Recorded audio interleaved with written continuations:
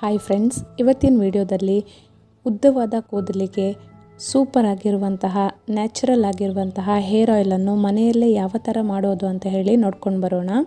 ಇದಕ್ಕೆ ಬೇಕಾಗಿರುವಂತಹ ಇಂಗ್ರೀಡಿಯೆಂಟ್ಸ್ಗಳು ಮೊದಲನೇದು ಮೆಹಂದಿ ಸೊಪ್ಪು ಅಥವಾ ಗೋರಂಟಿ ಸೊಪ್ಪು ಅಂತ ಕರಿತೀವಿ. ಇದು ನಮ್ಮ ತಲೆ ಕೂದಲಿಗೆ ತುಂಬ ತಂಪು ಹಾಗೆ ಒಳ್ಳೆಯ ಕಲರನ್ನು ಕೊಡುತ್ತೆ. ಹಾಗೆ ಸ್ವಲ್ಪ ದಾಸವಾಳದ ಹೂಗಳನ್ನು ತೆಗೆದುಕೊಳ್ಳಿ. ಕೆಂಪಗೆ ಇರುವಂತಹ ದಾಸವಾಳದ ಹೂಗಳು ಸಿಕ್ಕರೆ ತುಂಬಾ ಒಳ್ಳೆಯದು.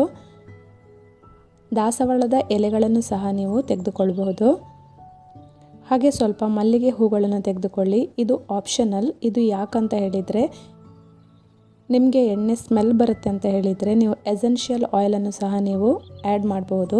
ಎಸೆನ್ಷಿಯಲ್ ಆಯಿಲ್ನ ಬದಲಿಗೆ ನೀವು ಮಲ್ಲಿಗೆ ಹೂಗಳನ್ನು ಸಹ ತೆಗೆದುಕೊಳ್ಬೋದು ಸ್ವಲ್ಪ ನೆಲ್ಲಿಕಾಯಿಯನ್ನು ತೆಗೆದುಕೊಳ್ಳಿ ಅಥವಾ ನೆಲ್ಲಿಕಾಯಿಯ ಎಲೆಯನ್ನು ಸಹ ನೀವು ತೆಗೆದುಕೊಳ್ಬೋದು ಇದರಲ್ಲಿ ವಿಟಮಿನ್ ಸಿ ಅಂಶ ಹೇರಳವಾಗಿದೆ. ಹಾಗೆ ಸ್ವಲ್ಪ ಕಹಿಬೇವಿನ ಎಲೆಯನ್ನು ತೆಗೆದುಕೊಳ್ಳಿ. ಇದು ನಿಮ್ಮ ತಲೆಯಲ್ಲಿ ಹೇನಿನ ಪ್ರಾಬ್ಲಮ್ ಇದ್ದರೆ ಅಥವಾ ಡ್ಯಾಂಡ್ರಫ್ನ ಪ್ರಾಬ್ಲಮ್ ಇದ್ದರೆ ಬೇಗನೆ ವಾಸಿಯಾಗುತ್ತೆ. ಸ್ವಲ್ಪ ಕರಿಬೇವು. ಕರಿಬೇವು ಎಲ್ಲರ ಮನೆಯಲ್ಲೂ ಇರುತ್ತೆ.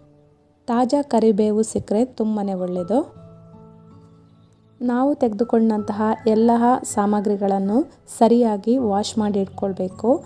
ಇಲ್ಲಿ ನಾವು ತಗೊಂಡಂಥದ್ದು ಮೆಹಂದಿ ಸೊಪ್ಪು, ಮಲ್ಲಿಗೆ ಹೂಗಳು, ಹಾಗೆ ಸ್ವಲ್ಪ ನೆಲ್ಲಿಕಾಯಿಯ ಎಲೆಗಳು, ದಾಸವಾಳದ ಹೂಗಳು ಹಾಗೆ ದಾಸವಾಳದ ಮಗುಗಳನ್ನು ಸಹ ನೀವು ತೆಗೆದುಕೊಳ್ಬಹುದು. ಸ್ವಲ್ಪ ಕರಿಬೇವು ಹಾಗೆ ಬೇವಿನ ಸೊಪ್ಪನ್ನು ತೆಗೆದುಕೊಂಡಿದ್ದೇವೆ. ಇವುಗಳನ್ನೆಲ್ಲ ಸರಿಯಾಗಿ ವಾಶ್ ಮಾಡಿ ನೀಟಾಗಿ ಇಟ್ಕೊಳ್ಳಿ. ಇದನ್ನು ಈಗ ಒಂದು ದೊಡ್ಡ ಪಾತ್ರೆಗೆ ಹಾಕಿ ಸರಿಯಾಗಿ ಮಿಕ್ಸ್ ಮಾಡ್ಕೊಳ್ಳಿ. ಈ ಪಾತ್ರೆಯನ್ನು ನೀವು ಸೂರ್ಯನ ಬಿಸಿಲಿಗೆ ಇಡಬೇಕಾಗತ್ತೆ. ಇದನ್ನು ಸೂರ್ಯನ ಬಿಸಿಲಿಗೆ ಸರಿಯಾಗಿ ಒಣಗಿಸಬೇಕು. ಒಂದು ಬಿಸಿಲಲ್ಲೇ ಸರಿಯಾಗಿ ಒಣಗತ್ತೆ ಅಥವಾ ಎರಡು ಬಿಸಿಲಲ್ಲೂ ಸಹ ಒಣಗತ್ತೆ. ಇಲ್ಲಾಂದರೆ ನೀವು ಫ್ಯಾನಿನ ಅಡಿಯಲ್ಲೂ ಸಹ ಇಡ್ಬೋದು. ನೋಡಿ, ಈ ಥರ ಆಗುತ್ತೆ. ನೀವು ಸೂರ್ಯನ ಬಿಸಿಲಿಗೆ ಇದನ್ನು ಒಣಗಿಸಿದರೆ ತುಂಬ ಕ್ರಿಸ್ಪಿಯಾಗಿ ಬರುತ್ತೆ. ಇದನ್ನು ಕೈಯಲ್ಲೇ ಸ್ವಲ್ಪ ಪೌಡರ್ ಆಗಿ ಮಾಡ್ಕೊಳ್ಳಿ. ಹಾಗೆಯೇ ಇದನ್ನು ಮಿಕ್ಸಿ ಜಾರ್ಗೆ ಹಾಕ್ಕೊಂಡು ಒಂದು ರೌಂಡ್ ತಿರುಗಿಸಿದರೆ ಸಾಕಾಗತ್ತೆ. ಚೆನ್ನಾಗಿ ಪೌಡ್ರ್ ಆಗುತ್ತೆ. ಈಗ ಇದಕ್ಕೆ ಸ್ವಲ್ಪ ಕಲಂಜಿ ಬೀಜಗಳನ್ನು ಆ್ಯಡ್ ಮಾಡ್ಕೊಳ್ಳಿ.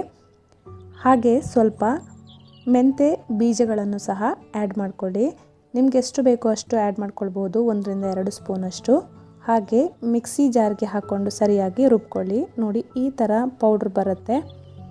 ಇದನ್ನು ಈಗ ಒಂದು ಗ್ಲಾಸ್ನ ಜಾರಲ್ಲಿ ಹಾಕ್ಕೊಳ್ಬೇಕು ಗ್ಲಾಸ್ನ ಜಾರಿಗೆ ನೀವು ಮಾಡಿರುವಂತಹ ಪೌಡ್ರನ್ನು, ಎಲ್ಲವನ್ನು ಹಾಕ್ಕೊಳ್ಳಿ ಹಾಕ್ಕೊಂಡು ಇದಕ್ಕೆ ಹಾಕ್ಕೊಂಡು ಇದಕ್ಕೆ ನಿಮಗೆ ಸರಿ ಬರುವಂತಹ ಎಣ್ಣೆಯನ್ನು ಆ್ಯಡ್ ಮಾಡ್ಕೊಳ್ಬೇಕಾಗತ್ತೆ.